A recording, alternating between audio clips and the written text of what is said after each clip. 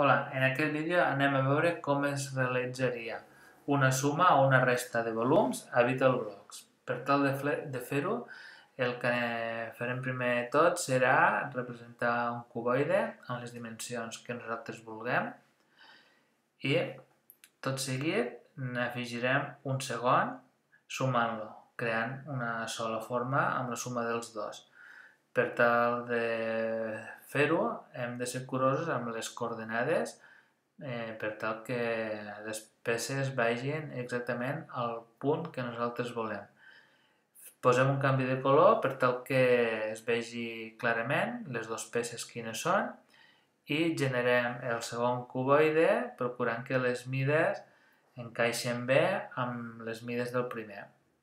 Així veiem que hem creat una peça en forma de L. Això seria un exemple d'addició de formes. Ara el que anem a fer és veure alguns exemples de subtracció o de resta de volums.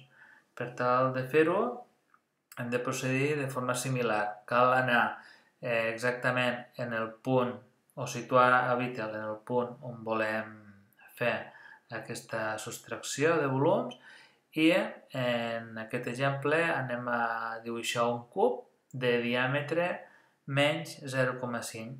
Llavors, eh, si fora positiu, el cub eh, seria, eh, seria físicament seria un objecte, però el ser negatiu el que fa és fer restar aquest espai i deixar un espai buit.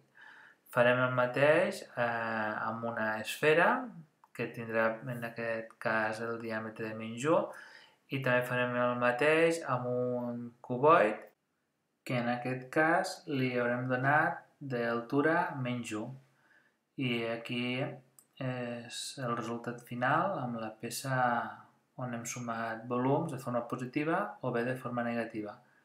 Per acabar-ho de veure millor podem llevar els eixos de coordenades, Vitel o la graella.